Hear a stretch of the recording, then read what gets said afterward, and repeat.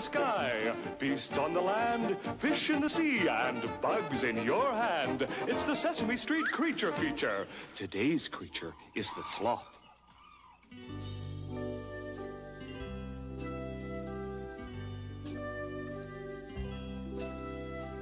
Rest, sleepy sloth.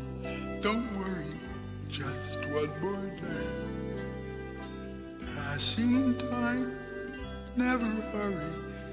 That's just your way. Isn't it fine? Aren't you blessed?